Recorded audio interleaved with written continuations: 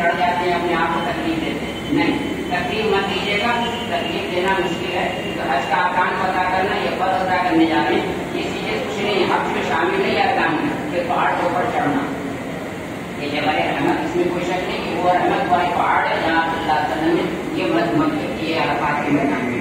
न वहाँ जाने की आपको कोशिश आप अपने अपने खेमे में हो गया, दुआ करते रहिए। कब तक गुरु आफ्ताब तक ये ये का वक्फा जो है, असल लोगों पे अरफा का वक्त गुरु आफ्ताब इसमें क्या होता है बहुत दफ़ा जो बीमार होते हैं मासूम हो जाते हैं अस्पतालाइज हो जाते हैं उनको मिला के लिए के लिए वहाँ हुकूमत लागू कर देगी एंबुलेंस मिला के वहाँ आपा की मैदान में बैठ देती है उसके बाद विदेश नौकरी का वक्त सहारा दी उनका हज हो गया अल्लाह की नबी ने बताया हज क्या है अरफा की हाजिरी तो अरफा की हाजिरी जिसकी हो गई। हज हो गया हाजिरी हो गया ये पहला, ये दूसरा आपका फल अदा हुआ